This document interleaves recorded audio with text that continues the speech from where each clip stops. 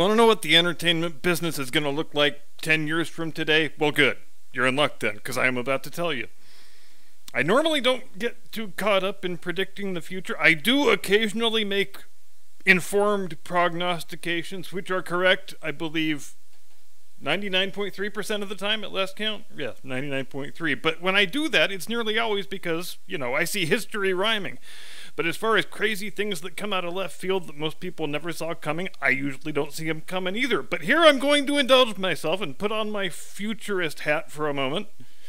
Because I do believe firmly that the way entertainment content is made and consumed is going to be fairly radically different a decade from today than it is today. So these writers who are currently on strike, they are more doomed than typewriter manufacturers were on the day they invented email. Human writers of filmed entertainment simply are not going to exist by the mid 2030s, at least not in the same form that they do now, because I'm here to tell you these AI bots are closer to making human writers redundant and obsolete than any human writer would ever care to admit. We might not even be five years away from the point where you can open up your little AI screenwriter app and type in, Give me a John Ford Western, 212 pages in length, and then you step out to grab a coffee, and when you get back, it's finished. And 80% of what it gives you, you can go shoot a movie with right now. If a human writer is required at all, It'll just be for polishing, not for any of the mainline writing, because reality is what reality is. Let's face it. In a world where a hundred dollar piece of software can deliver the same movie script that used to cost a couple million bucks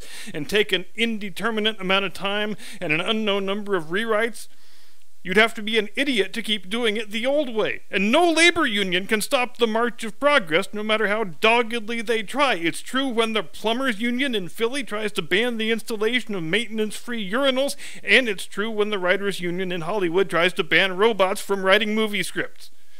And the word on the street is it's the poor oppressed actors who are going to be going on strike next in protest of whatever it is that actors find oppressive, but they're so good at portraying themselves as victims, I'm sure they'll figure something out.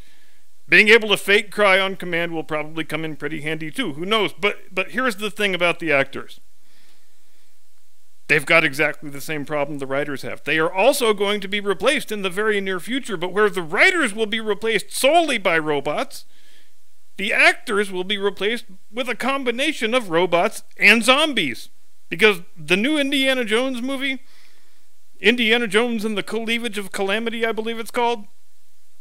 Though it has already cemented its status as the most horrific box office disaster in the history of moving pictures, there is one aspect of it that has been pretty close to universally well received, and that is the digital de aging job that they did on Harrison Ford. The whole first act is digitally de aged young Indy, and from what people are saying, while there still is a bit of an uncanny valley effect, it's pretty close to being eliminated. And based on how much improvement there has been in the technology in just the seven years between Rogue One and today, give it another seven years and you will be able to reanimate any movie star in history at any age of your choosing. So if we are all sitting here in the summer of 2033 and zombie John Wayne and zombie Marilyn Monroe are starring together in the blockbuster hit of the summer written and directed by the robot ghost of John Ford, and the year's top grossing concert tour is Hologram Elvis co headlining with the Hologram Beatles, just don't forget you heard it here first. Jim Eagle hit the damn music.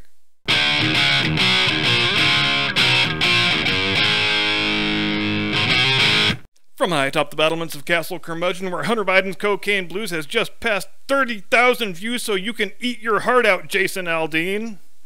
Good evening, Mr. and Mrs. America, and all ships at sea. Welcome to the program. I am your eponymous host and humble servant. And speaking of movie stars, is there any actor working today? Hell, is there any actor living today that you can point to and say, that guy is not only a great actor, not only a gigantic star, but he is also one of the best men this country has to offer. In the judgment of this reporter, the last time you could say that was on the 2nd of July, 1997, when James Maitland Stewart, Brigadier General, U.S. Air Force, passed away at the age of 89. If you're someone my age or younger, you probably only know Jimmy Stewart from watching It's a Wonderful Life on Christmas Day, if at all Even if you're a movie fan, people in the current day probably only know him from, from that and just a few other films. Uh, Mr. Smith Goes to Washington, Rear Window, Vertigo, The Man Who Shot Liberty Valance. But Jimmy Stewart was one of the most well liked and bankable stars in Hollywood for basically the entirety of three whole decades the 40s, 50s, and 60s. He was also a full on badass fucking war hero as any man can claim to be who has completed 20 combat missions as a B 24 squadron commander. Now, a lot of famous actors and athletes, British and American alike, served with honor and distinction in the Second World War. And when I say that, it is not taking anything away from the actors who served in the propaganda film units and the ball players who served by playing in exhibition ball games.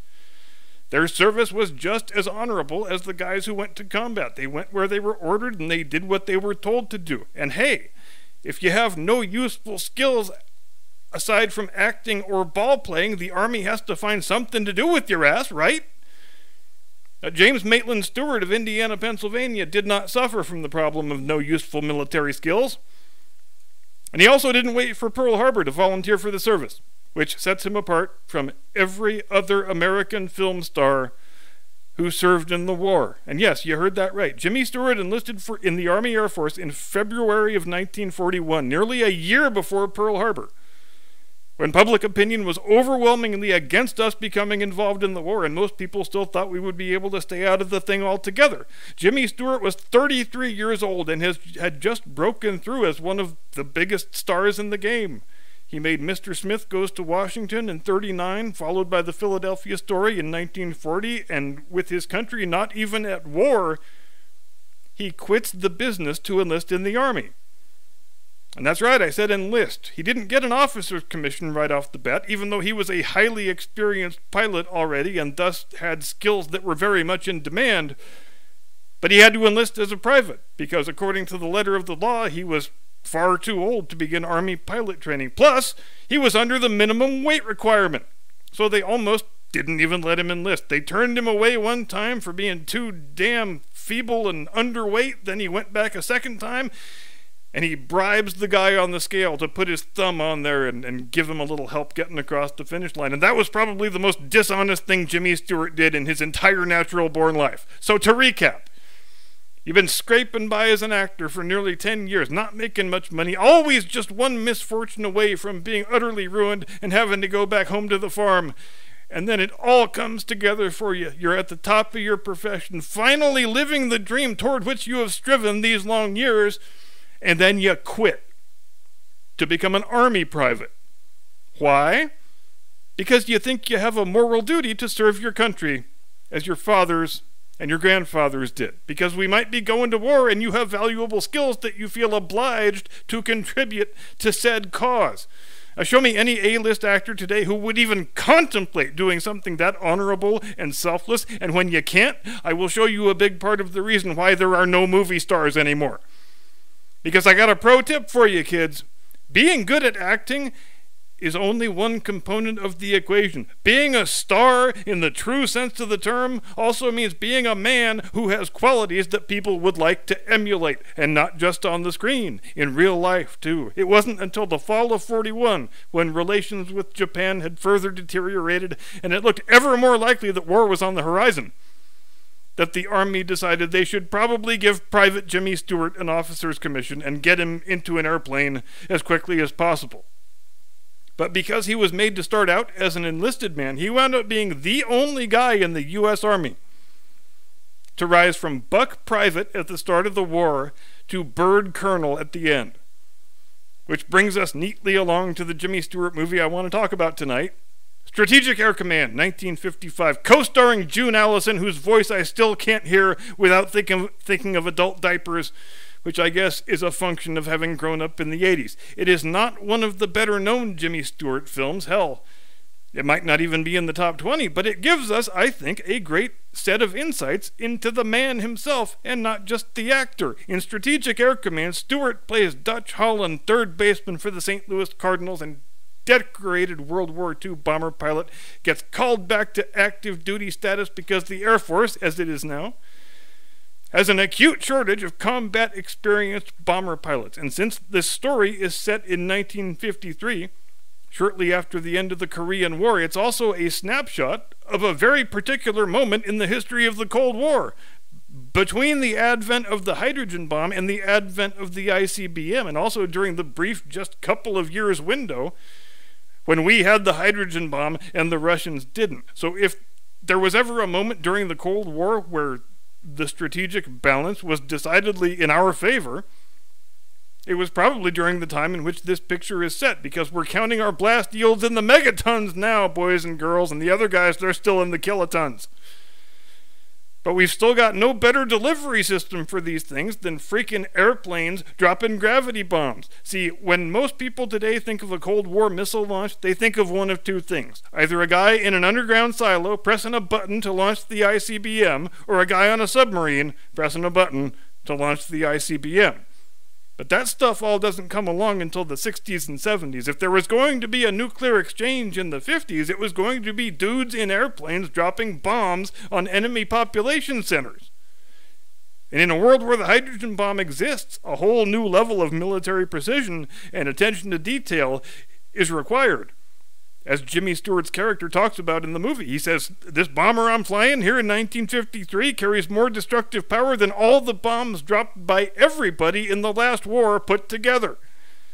And that gives a fella a lot to think about. Now, a lot of actors have gotten knighthoods, peerages, presidential medals of freedom, Kennedy Center honors, and what have you. Only one actor was ever a general. And when he was shooting Strategic Air Command, aside from the baseball thing, Jimmy Stewart was basically playing himself in real life. He was a colonel in the Air Force Active Reserve, and he was actually rated to fly the two aircraft his character flies in the film the B 36 and the B 47. If there's anything I recommend most highly about this picture, which doesn't really have much of a story to speak of, it has to be said. It's the aerial photography, which is just indescribably gorgeous, and it's difficult to believe it could be achieved with the equipment they were using in 1955.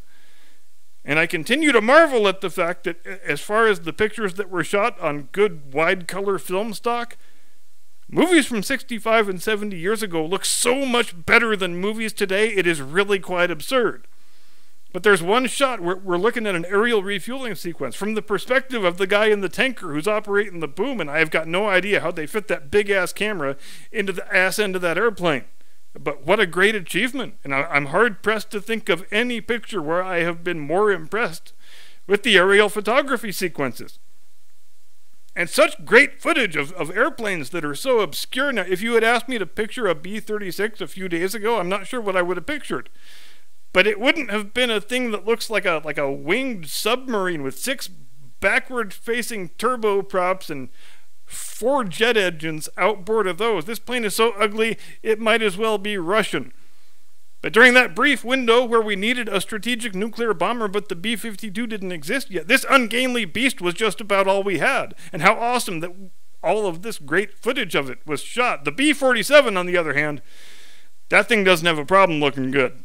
That's about as close to a hot rod as a jet bomber can get. Jimmy Stewart's character treats it like it's a clear upgrade, and, and I think we'd be safe in assuming the real life Colonel Stewart felt similarly inclined. And speaking of that, since we keep adding to this man's list of singular distinctions, let's keep going. How many actors do you know who have had to go down in rank to play their character?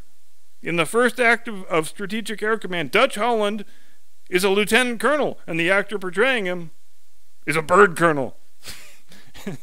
now, are there things about this picture that are easy to make fun of? Yes, of course there are. Starting with the title song, which when you hear it, you're going to think, oh, yeah, this is that song they made fun of in all those 80s movies. I mean, realistically, that song was probably a little bit corny even in its own day, and not to mention the idea of a female lead making a priority of supporting her husband's career. That would just be seen as wildly offensive and anti feminist. And in our new and more more enlightened age. In fact, you'd, you'd be laughed out of the room within five minutes if you tried to pitch this script in 21st century woke Hollywood. It's about a man who willingly gives up wealth and celebrity to serve his country when called upon. And he's played by a man who willingly gave up wealth and celebrity to serve his country when called upon. All right, kid, stop pulling my leg. What, what's the picture really about? What's all this rah rah America bullshit? You're just joking, right? Are there any here? are there even any black lesbian vampires in this picture? And the thing about your male lead, yeah, that's really like an actor would ever do that. His career would never recover, you idiot. But when you watch Strategic Air Command, you get a really strong sense that Jimmy Stewart isn't just making a movie here. In a certain sense, he's almost inviting the viewer into his workplace. There's a scene about a third of the way through the thing where we spend a good 11 or 12 minutes just shooting the shit with the guys on the crew, one of whom is Harry Morgan, for you MASH fans out there. And it's probably not unlike the sort of conversation that the real life Colonel Stewart might have gotten up to with his real life bomber crew on the weekends. It's also way too easy, with decades of hindsight, to, to kind of smirk at the Cold War and the attitudes that accompanied it, because we already know the movie ends without any global thermonuclear annihilation. But this picture is very clearly directed against the public perception that existed at the time that we were on a peacetime footing and our bomber crews were just sort of flying around joyriding in circles all day long. In actual point of fact, these guys were on a war footing 24 hours a day. They were under tremendous amounts of stress. They had to constantly live with the burden of knowing just a small mistake on their part could mean millions of people perishing in a blazing inferno of death. And sure, it would be all too easy for a cynical 21st century viewer to smirk at the earnestness of it all, the saccharine simplicity of it all. People serving their country out of a sense of duty, people treating their marriages like sacred life partnerships, people taking pride in the quality of their work. Come on, man, nobody wants to see that shit. People want gritty realism and handheld shaky cam. Lots of handheld shaky cam. And when General Jimmy Stewart passed away on the aforementioned 2nd of July 1997, we still lived in a country where a Democrat president would say nice things about a Republican who just died. And that day, President Bill Clinton said the following quote, America lost a national treasure today. Jimmy Stewart was a great actor, a gentleman, and a patriot. We will always remember his rich career of great performances that spanned several decades and entertained generations of Americans. Like all Americans, Hillary and I will miss him greatly, but his works live on, and for that we can all be grateful. If he had never acted in a single motion picture, James Stewart would be one of the best men the United States of America ever produced. But he did act really damn well in lots of motion pictures, many of which are culturally indispensable. So next time you have a couple hours to kill, before you turn on woke superhero dog shit, volume 49, Maybe do yourself a favor and watch a Jimmy Stewart picture you've never seen before. Thanks very much indeed for watching. Have a great day and a pleasant tomorrow. See you next time. Do not comply. Get off my lawn.